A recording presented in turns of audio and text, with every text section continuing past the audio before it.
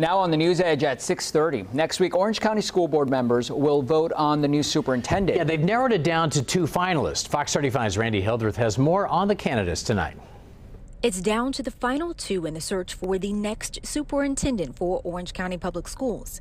Dr. Maria Vazquez and Dr. Peter Licata were selected as the strongest candidates from 15 applicants.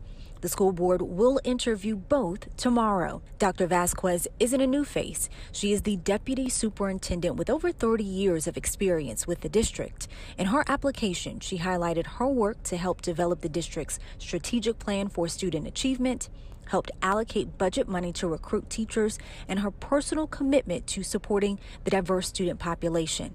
I am also drawn to the diversity in the area and I see an opportunity to help students with stories like mine.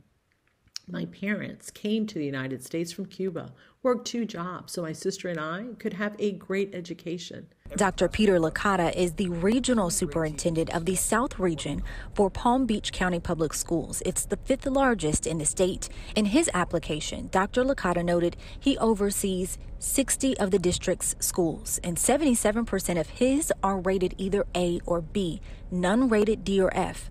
Dr. Licata says he has 14 years of district leadership experience and 15 years of classroom experience. My leadership style is not about me. It's about how I empower others to be their best. He was also a recent superintendent finalist for Broward County Public Schools and Lincoln Public Schools in Nebraska. Randy Hildreth, Fox 35 News.